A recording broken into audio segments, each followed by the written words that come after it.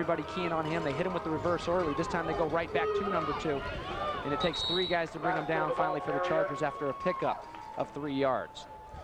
One guy we haven't talked about yet is tight end Foy Wilson, 6'4", 225-pound senior, number 14, a big blocker for Laster throughout the season. They'll move him around. As you see the big fella, a terrific all-around athlete. And keep an eye on him, the senior. See if they don't start running behind him as this game moves along. So another third down, third and four. Can the Charger defense step up and make a stand? Laster's going to come out in motion, line up wide. Play action, a flag on the play. They get it to Laster, tries to make a move. He's not going to make it to the sticks. Andre Davis there waiting on him. Well, they're feeding him in the backfield, trying to feed him out there through the air. Good open field tackle by Davis.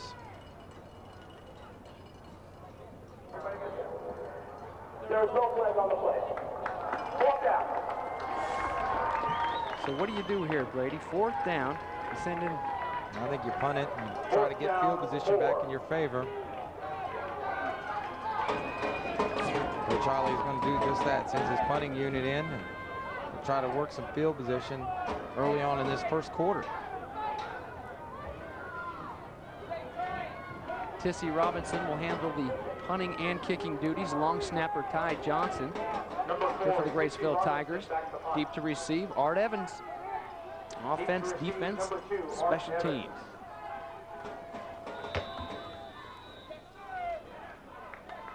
So another whistle. Why not?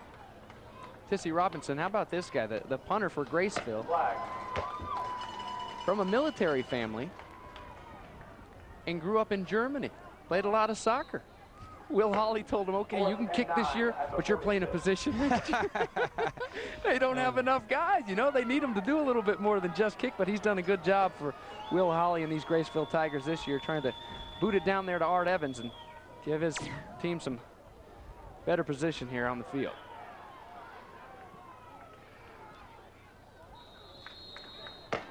What do you say we go check in with Kim Anthony for the first time today? Graceville is a small town of about 2,400 people, and they really rally to support this football team. In fact, they love this team so much that at midnight they hopped on four buses like this one to drive 10 hours to support their team. And get this, right after the game, they'll turn right back around and drive another 10 hours. And that's what I call fan support. James, Brady? Bet. All night long driving. Hopefully for those Graceville fans, they won't be driving and crying on the way back, but having them crying right now is Dominique Booker, running just as strong as Laster is over there in the black jersey. Comes churning through there for a big pickup on the first down. A lot of movies and a lot of sandwiches on that bus ride. Wonder if any of those movies will have any stunts done by Kim Anthony. you know, that's what she's, she's been a, a stunt woman, and there's some of those fans that came down all the way from Graceville. Not yeah. a lot of sleep over there, but well, that's why you wear the hat because yeah. you got the bed head. You got to you got to plan ahead. That's the, one of the great stories in, in, in Florida high school football, seeing these schools and the fans and the communities rally around their Ball's on the ground. Andre Davis had it on the pitch, was hit hard in the backfield. Ball came squirting out. Evangel Christian's going to pick this one back up.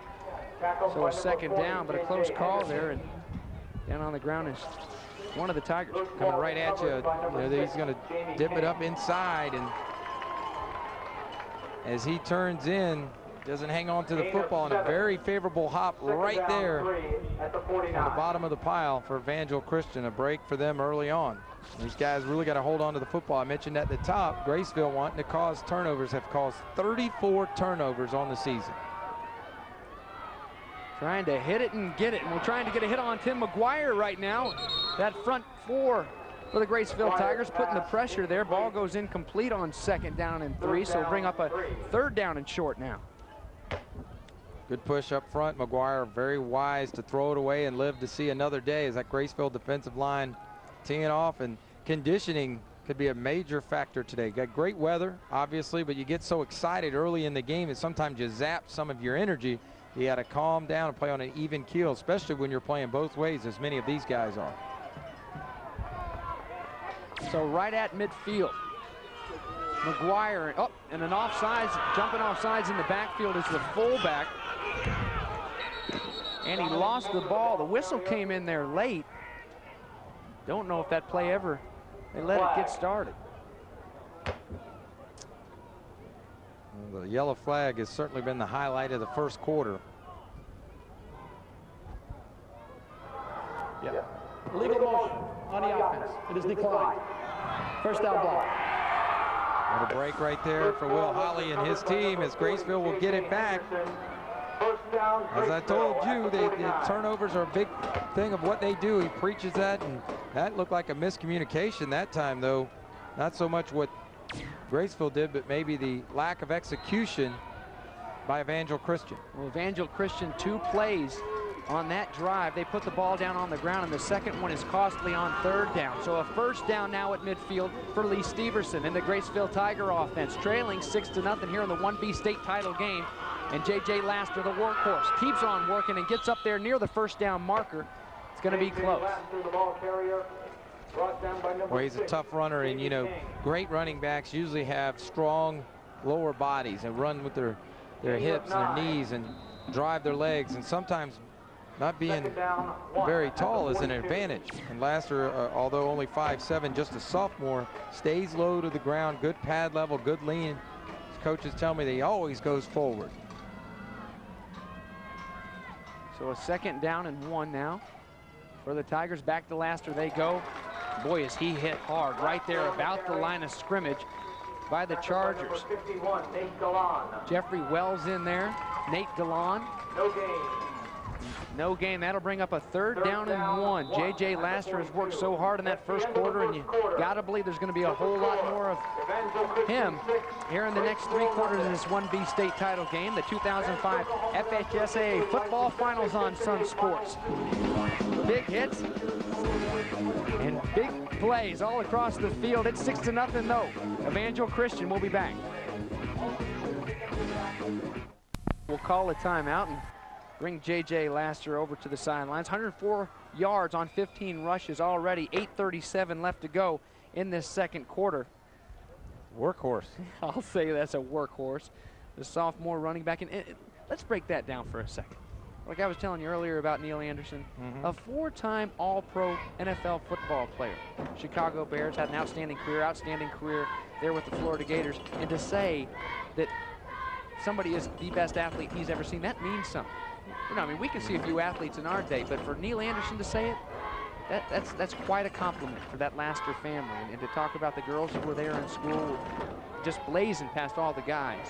And Neal Anderson spoke to this football team, the Graceville Tigers. They they made their way down to Ocala, Vanguard, a place where Will Holly used to be an assistant coach. And on their way down, they had a walk through there, and Neil Anderson came and talked to him. And said one thing that he was very impressed with and, and, made him so proud of this team is, is the way that they showed respect to all the adults that were around there, the way they looked everybody in the eye, and it made him more proud than anything he'll ever do on the football field. Good to hear about this team and good for this community. Trying to put it in the end zone now. J.J. Laster's going to take the pitch into the end zone, and there are the first points on the board for the guys wearing the black jerseys at the hands of J.J. Laster behind that big offensive line. Good hole for him. Yeah, and he can thank his fullback, too, number 40, J.J. Henderson, the big senior, with a pancake block out on the flank made it clear sailing for J.J. Laster into the end zone, and Graceville right back in it here midway through the second quarter. Watch his fullback out there on the edge. They kind of put him out there as a wingback, and number 40, bam, blows the defensive back out of there. Easy hole, good blocking up front. Graceville on the board. Boy, Wilson put Dominique Booker on his back in the end zone to open up that hole. You talked about him earlier. Big, strong guy up front. There's Tissy Robinson, the junior, putting it through there, just like he used to do it with the soccer ball in Germany. See if we can see the, the big tight end, and Laster's going to follow up in there. He gets two blocks, one by Wilson and one by Henderson, and look at him, right up in there. Too easy. That's probably one of his easier runs today for Laster, and he knows what to do with it. Toss the ball to the official, act like you've been there before, and take your points. The little big man from Graceville, Florida. You know, that used to be called the biggest little town in professional baseball. They had a professional baseball team there, 1952 to 1958. The Graceville Oilers, the Alabama-Florida League, Deep South Class D baseball. Population was only 1,658. But they had themselves a baseball team and followed them for quite some time. And they're following them down here, the state title game, all the way down south to Miami, Florida, where they've gotten on the board. Five plays, 70-yard drive, capped off by that big Laster five-yard touchdown run.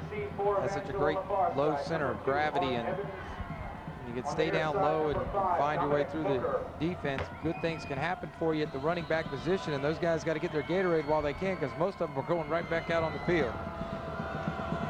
Tissy Robinson trying to get this one off, but the football falls down on the field. Big six foot three, 165 pound kicker. I mean, you see why Will Holly says to him, look, all right, you got a year to kick, but we need you playing a position next year. I could throw him a, a few footballs. Lee Steverson's going to be around for a couple more years, a sophomore quarterback. We've seen J.J. Laster in there at quarterback a few times and running the show on the other side, going to get his hands back on the ball now here in the second quarter. Tim McGuire. This one stays on the tee, and it kicked off by Tissett. Almost to the end zone. Taking it, the one is Art Evans. Art Evans just gliding, trying to find something to do, and he finally decides exactly what to do with it. Turns the corner, outruns everybody to the corner, including Montrez Bullock. How about that speed? Out of bounds. Yeah, he comes in here. He has a 95-yard touchdown reception on the season, and just a terrific player. And Coach Dodge has got him for another year. You talk about Evangel Christian a week ago, and they've won consecutive wins on number three and number four in the state. A week ago, five different guys found the end zone for the Chargers.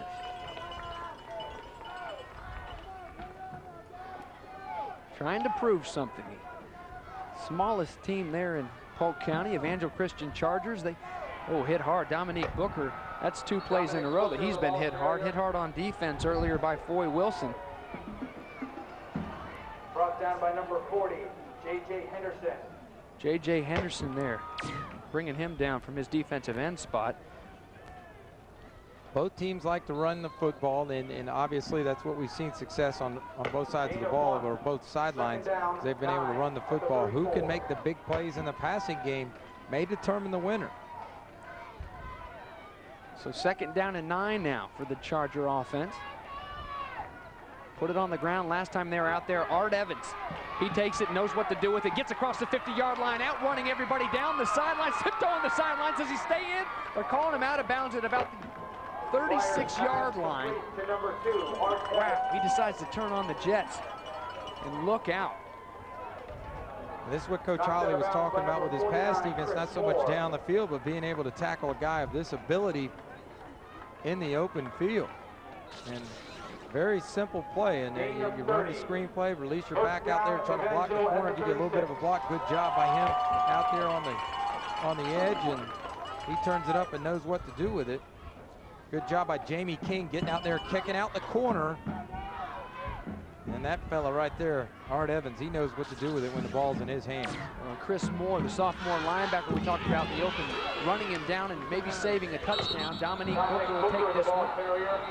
Little gain. They're calling it down. Ball came out. Calling it down, going to run that clock. So Graceville thought they had another big opportunity, big turnover. Lauren Johnson down there. Booker having a trouble hanging on to the football today. Now, I told you, Graceville, they'll, they'll turn you over, but in this game, they're using two different footballs, or they, they got two footballs to warm up with before the game. Uh, they didn't use their own balls, but their actual FHSA state finals footballs. So maybe he's not as comfortable with those as his normal ball back in Angel Christian. Jamie King trying to get outside, but can't get there. About six black jerseys waiting on him, leading the charge. Foy Wilson from his defensive end spot. Stopped by number 14, There's my man, Chris Moore. Boyd Wilson and number five, What a great Darnell story. Laster. I mean, take size out of it. It's not the size of the man in the fight, but the size of the size of the fight in the man. And that man right there's got a lot of fight. Young man. Enough fight to get him 117 tackles this year coming into the game. 13 tackles for loss, one sack. And Will Holly said, hey, when you see my middle linebacker, you're going to say, what's this kid doing out there? But he's our leading tackler, and he's made two big plays there for the Tigers on this drive. Trying to get another one. Ball goes down on the ground. And this one is picked up by the Graceville Tigers. Looked like Darnell Laster fell on it. He did, and the Tigers are back in business. Darnell Laster. Once again, a execution problem from the quarterback to the running back. I believe it was Andre Davis who put it on the ground, and McGuire having trouble getting the ball in the pocket. Let's see if we can see it on the replay. He's got it good right there. Nope, that's on Andre Davis. The running back gives the wrong pocket. You got to have your inside arm up, your right arm up, and Andre Davis had his left arm up. And that's it right there. Watch him. See how he has his arm in the wrong position. He never gets the handoff, and that's not the kind of fundamentals Coach Dodge coaches. So trailing 13 to 7, Steverson and company going to get another shot at it. Wide open down the field. Can't get turned. Brandon Wilson had to turn around and come back to it. Nobody around him. Brody uh, Bullock, the closest guy, and he was about 15 yards behind him at his safety position. He's going to release two receivers down the middle of the field. The safety's got to decide which way to go. He gets him turned around, Bullock, and he's got him wide open. And McGuire just couldn't get it to him, and that would have been a big play. Good play call, though. Challenge the safeties, back them up, loosen up for you on the run. McGuire gets another opportunity like that. He'd like to get it back and see if he can execute it. Yes, sir. That's a that's a situation where you throw the visor if you learn your football from Coach Spurrier. Turning cross down to midfield is J.J. Laster. So if you can't get it done through the air, you come back to your workhorse J.J. Laster, and he'll take you up to midfield. So with just under six minutes now and trailing by six points, the Tigers are running hard. Jock Demond on the tackle. Inside base play again. Look at him get sideways in the hole to find some room in there and then going forward like he always does. JJ Laster, the workhorse in this first half, and I really believe that is set up off the off the pass play from first down. I think they've got a nice mix going right now on the Graceville offense. First and 10 from midfield. Steverson, oh, tries to get it out to Laster, who falls down, and that one's going to be picked off and taken back. R.B. Mackey. Mackey for the end zone touchdown. Look what I found right in the bread basket. 45-yard interception return for a touchdown in the state title game for the linebacker, the junior, number 32, R.B. Mackey. J.J. Laster just fell to the turf. Boy, RB Mackey really turned the Jets on when he got it, the beneficiary of a ill-advised throw by, after. by Steverson. And, uh, you know, this turf, you know, these kids don't play on it all the time. And they don't play on it at all hardly on the AstroPlay. And you got to keep your feet underneath you. Most guys wearing cleats. This is not the type of turf you wear tennis shoes on, but you got to gather yourself. It cost him six. Make that seven. Tyler Donaway puts it through. So 20 to 7 now. The big lead for the Evangel Christian Chargers. And RB Mack got himself a touchdown. Making that difference. We'll be back.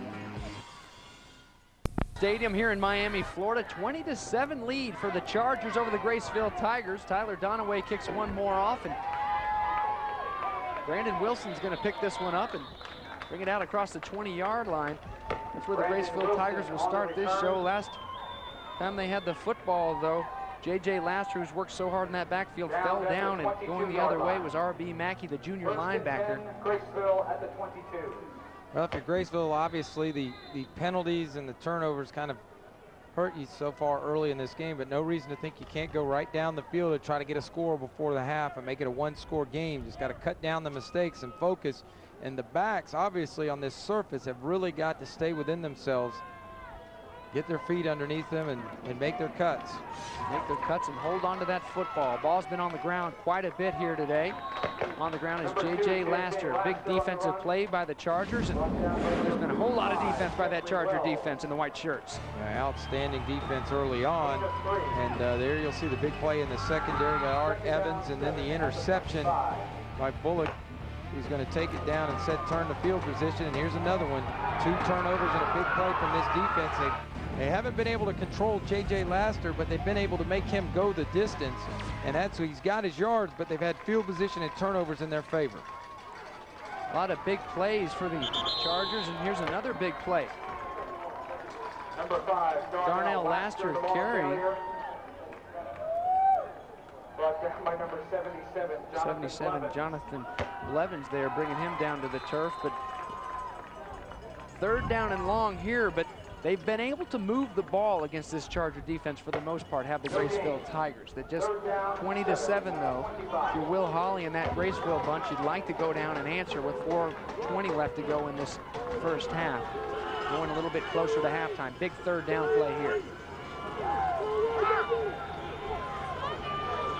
Plenty of time for Steverson. He'll go outside and try to find Foy. Foy Wilson, the tight end, was out there but couldn't connect. Flag on the play. Like, Rick- like a little bit of confusion there for a while. Wasn't sure they, they got the play off. A couple guys stopped. Finally, Steverson went running with it. Well, originally he was looking for the slant route to Montrez Bullock, but that time Evangel Christian dropped seven guys into coverage. No one on third long. They just rushed four. Normally they like to bring some some heat. They dropped seven guys into coverage, and because of that, nowhere to go for Steverson. Tried to make a play but couldn't do it.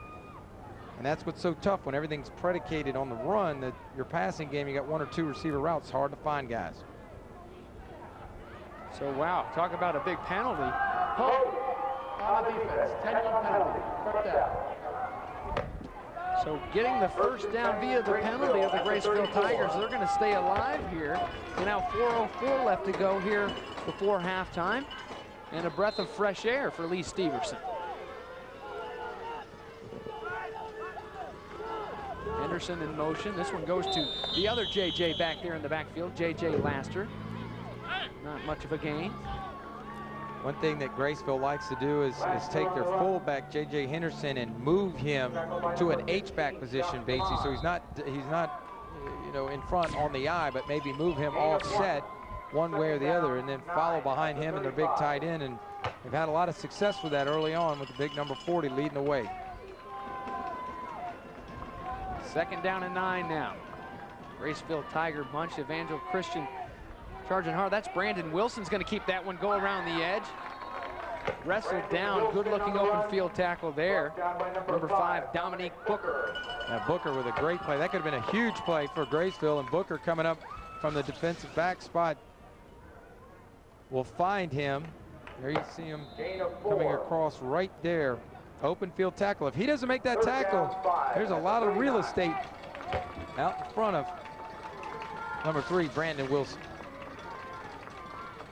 Well, we've shown you some offensive numbers for Mr. Dominique Booker. How about some on the defensive side of the ball? 93 tackles two times second to quarterback this season. That's a pretty good open field tackle there, though. And here comes a big third down play. Laster's going to throw it to Foy Wilson. First down across the 50 to the 45. And just when you think that it's going to turn over to the other side and they, they've come to an end, they keep the drives going. Very impressive. Graceville not giving up. They haven't given up throughout the season. And here's a good look at it. They're bringing the blitz, and he just releases the tight end down the field. J.J. Laster can do it all. He can quarterback, he can run it, he can throw it. Watch him right here. Take the toss sweep, get his hands on the laces. Make the big completion to his tight end, Foy Wilson. First down, Graceville. So 229, the way they keep it on the ground. Time becoming a little bit of a factor, not when you pick up that much yardage.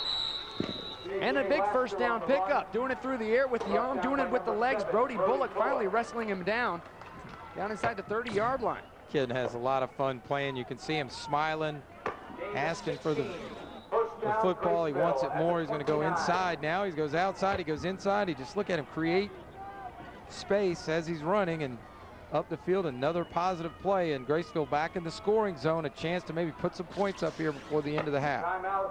That one a 17-yard pickup of those 143 yards here in the first half. 20 rushes.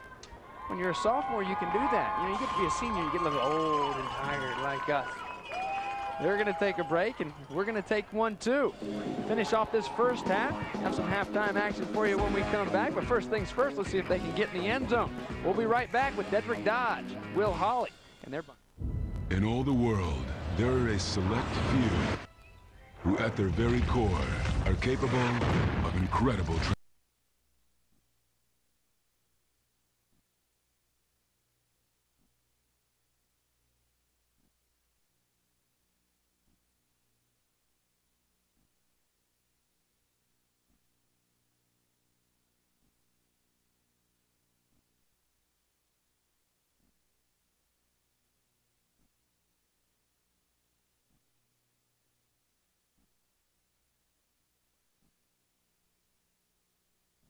before they head into halftime. 2.21 left to go, and Steverson's going to throw this one up.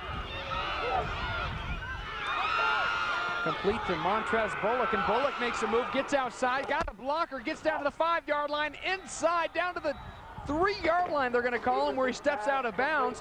Huge pickup after the timeout. This is a great play by Steverson. Nothing down on his first read, so it breaks down. He just flips it out to Bullock, and then he makes a break play, getting out to the outside and showing great effort and want to inside the five-yard line. Graceville's got something cooking. You see Steverson pointing at his receiver, telling him great play, but he made that play when the first read wasn't there, bought some time, stayed behind the line of scrimmage, allowed him to come open. Now they'll try to finish it off from the two. Second goal, and it goes to number two. Number two's got two guys waiting on him, though. Jamie King, the running back and linebacker, sophomore, 97 tackles this year. There's a big hit there at the line of scrimmage, just waiting on Laster. Certainly time is not at a premium now when you're this close. You got to find a way to bang it in. Laster's been the workhorse. Maybe they'll try something else down here in the scoring zone. Laster one more time. This time, it works. Touchdown, J.J. Laster. Six more points on the board for the Graceville Tigers as they try to chip away at that lead before they go into the locker room and doing just that. 20 to 13 now with 131 left. Good job in the interior part of that offensive line. The big ugly is working in there. Ty Johnson, the center, creating a, just enough room in there with a little scoop block. Ryan Ward, Dustin Evans, the three inside guys just getting enough push inside, scooping inside, getting low, and allowing Laster to get into the end zone. Tissy Robinson trying to make this a six-point game. Looked like a couple guys in white jerseys came across early. Jock Dumond over there at the defensive end spot. On a, on a defense, half the distance. Repeat, try. One thing you'll find out with both these programs, a lot of resolve, Batesy. They're not just going to go away. Dead ball, encroachment. Penalty is declined. Tissy right. Robinson says, I'll take it where I got it. Let me just put it through there. Yeah, two scores. Uh, these teams have both sized up with some very good competition this season. Both teams battle tested for this championship run. I'll get the number for you. And Tissy Robinson puts it through. And where it all started. So we do have a six-point game now with 131 left to go in this first half. Dedrick Dodge played a lot of great football. Wears two Super Bowl rings. He's got one of them, the 1997 Super Bowl ring, his championship season with the Denver Broncos, defensive back at Florida State University. How special would it be for him to get a state championship football ring here in the state of Florida, not too far from his hometown. Went to Mulberry High School down south of Lakeland. Very special to take home a state championship ring, trying to get his troops rallied and try to go down there and answer before they go in. They've had some big plays so far in the first half. Really have, and uh, you know they've gotten turnovers and been the beneficiary of some help from Graceville creating those turnovers. But you got to give it up for the Tigers as well, answering, getting down two scores late in the first half, and, and answering with a huge drive and a huge third down pickup against Coach Dodge's defense. And that defense, let me tell you, a week ago, Cedric Epps, one of the top rushers in all the state of Florida from Jupiter Christian, they just shut him down. So that's an awfully good defense that J.J. Laster is having a big day against. So Tissy Robinson's going to get another shot to put this one down. Robinson to kick off for Graceville. Deep to receive. Art Evans, Dominique Booker back there deep to receive. Far side, number Not going to get that far, but Booker's going to step up and take it. Last time he touched it, he had a big return, and he's got a hole there in the middle before he's brought down. Art Evans, the shark. By number 49, Shark. Moore. Probably feels pretty comfortable down here in Miami, Florida. His teammates put a nickname on him. First and The shark. Evangel at the I don't 32. expect Coach Dodge to sit on it. He's a pretty aggressive guy. And, uh, you know, obviously with that running game, anything can pop out of there. But the way they've struggled holding on to the football, he might want to go to the air. Tim McGuire, he's got a quarterback that he feels can throw it. A, a transfer from Newsome. He ran the wing T there. He doesn't like calling his any quarterbacks an option quarterback. Say he's a quarterback. If he can run it, he can run it. He can be an athlete, but he's not an option quarterback. And they're going to put it on the ground here. Dominique Booker, the ball carrier. Spread them out with a four wide formation. Try to hit the quick trap with Booker. See if they can get something big going. Always a good play late in the half when teams are in prevent if you're going to run the ball. Uh, a trap play because the guys are trying to get up the field thinking you're going to throw the football and sometimes you can pop one out of there. Good job there being on guard by the Tiger defense. There's a lot of guys, five guys actually for Coach Holly that play both ways and come across and try to make the stop, trying to make a stop here and a big pickup by Andre Davis. Andre Davis is used to gaining those big yards, brought down by Brandon Wilson. We talked about Dominique Booker and his 11.2 yard average.